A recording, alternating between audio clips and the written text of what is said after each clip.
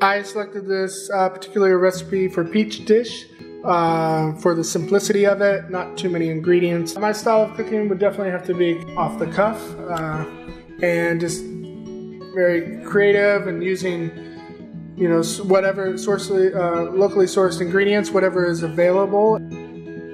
My name is Terry Koval and this is my PeachDish.